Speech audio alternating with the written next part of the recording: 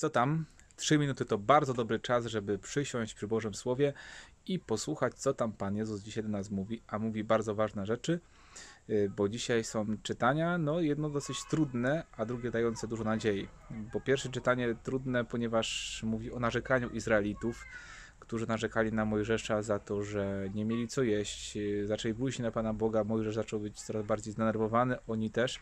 I tak się czasami może zdarzyć, że kiedy się koncentrujemy na jakimś źle, które się dzieje, możemy się właśnie tak zakręcić, tak jak było w ich przypadku, że oni się zaczęli koncentrować na tym swoim braku, a nie wiedzieli tego, co mieli. Czasami nasz brak może nam bardzo przysłonić e, to, co mamy, co posiadamy. E, I Mojżesz rzeczywiście już stracił powoli cierpliwość, e, modlił się do Pana Boga, bardzo już mu, coraz ciężej było mu ten nieść lud.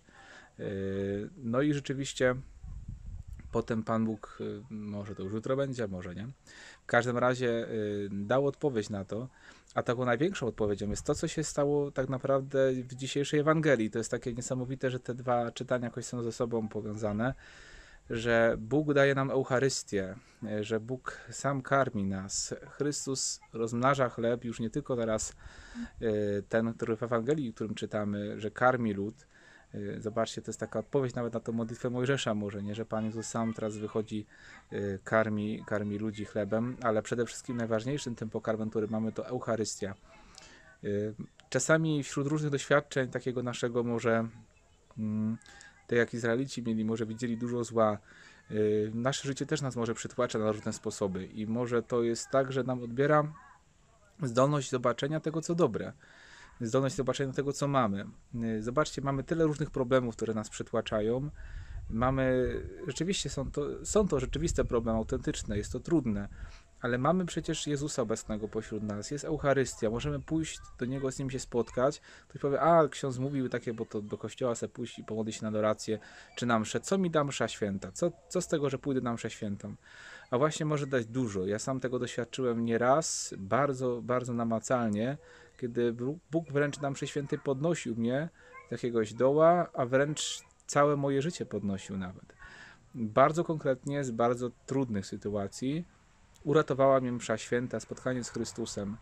Y, tylko co było potrzebne? Wejście z wiarą w te tajemnice. Potrzebne było rzeczywiście takie uchwycenie się e, całkowicie Pana Boga. I można być nawet, nawet przecież Mojżesz też miał kontakt z Bogiem i osoby, które są poświęcone Panu Bogu, które y, żyją blisko Niego, modlą się, y, Mojżesz był dużo bliżej Boga niż lud, też mogą mieć chwilę słabości, jakiegoś trudu, depresji nawet, ale jednak Eucharystia, jeżeli będziemy z niej czerpać, to nawet jeżeli będzie nam trudno, nawet jeżeli po ludzku będziemy potrzebować jakiegoś wsparcia, może nawet jakiegoś leczenia, y, to jednak, czy terapii, to jednak ta Eucharystia będzie naszą siłą, która jest konieczna. E, ważnym takim naszym poszukiwaniu pomocy jest to, żeby nie rezygnować z mszy, szukać też innych rzeczy, ale szukać też przede wszystkim, czerpać z tego źródła, jakim jest obecność Pana Jezusa w Najświętszym Sakramencie. On tam jest.